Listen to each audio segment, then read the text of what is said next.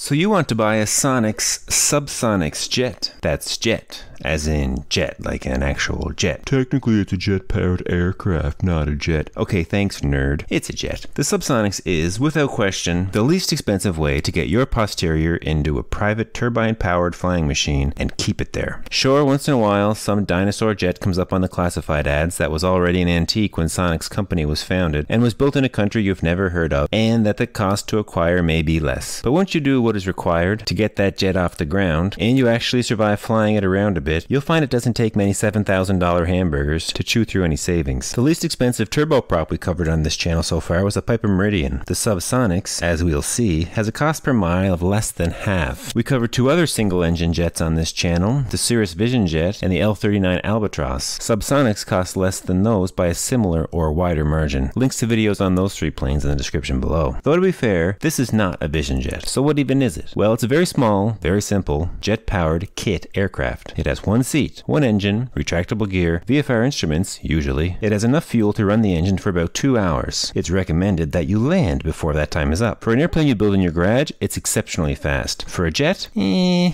it is a wonderful little airplane, tremendous fun, and we're all better off that it exists. But to be clear, this plane has more in common with a motorcycle than a Cirrus Vision Jet. But motorbikes are awesome too. If you want one, you'll need to go directly to Sonex. The secondhand market remains non-existent to date. A little more than 50 kits have left the factory so far, and a little more than 20 have left the ground. Your only option to buy it is the quick build kit. Lead time is about 9 months, and when you receive it, you'll have on average 500 hours worth of elbow grease left to invest. Though there are a handful of third-party build assist companies out there, if pulling rivets isn't your bag, and that's all you need to do to get one. Oh, also the 140,000 or so bucks. Insurance premiums aren't great, and will depend heavily on your previous experience. Orthodontists who like expensive toys will receive a different insurance quote than retired F 16 It's easy to hanger. Takeoff power will guzzle 30 gallons per hour, but comes down to about 19 or so once you get up to speed and altitude. Now, the engine. A PBS TJ 100 turbojet, built in the Czech Republic. It has been around for just about 15 years, and it's quite modern. It's FADEC controlled, so you just have one lever to worry about. Maintaining it between overhauls is limited to changing the oil. The overhaul situation is like this. TBO's 300 hours. When that time comes, you pop the engine off off its little pedestal, slap it in some bubble wrap, and drop it in a shoebox, along with 30,000 of your USD dollars, and send it home to Czechia Republica. It's just 45 pounds, it's not that big of a deal. They'll return it with a fresh overhaul. Now here's the rub. The engine has an estimated lifespan of 900 hours. So does that mean after 900 hours you throw it out and buy a new one? Well, if you ask PBS that question, they say we don't actually know. But that's not as weird as it sounds. New experimental airplane engines often start with lower TBOs, and then they creep up over time as more and more engines reach high times and there's more data about maintaining them. So time will tell with this engine too. Outside of the engine, maintenance costs are very minimal. Underneath it all, it's a classic old Sonex. Nothing much to maintain, especially with no piston engine bolted on the front. Changing brakes and tires and cleaning off the bugs and drool of other pilots. Gross. Sonex sets the bar in affordable aviation. The price for performance is unmatched in their Sonex, Waiex, and Onex. I'm not sure about their motor glider to be honest. I never looked into it. Gliders sort of freak me out. Going flying without an engine is like going water skiing without a boat. Motor gliders have motors. Yeah, uh, that's fine. It's not the point. The point is that they did it again with the Subsonex. If you can afford a 30 year old Cessna 182, then you can afford a brand new Sonex Subsonex jet powered aircraft.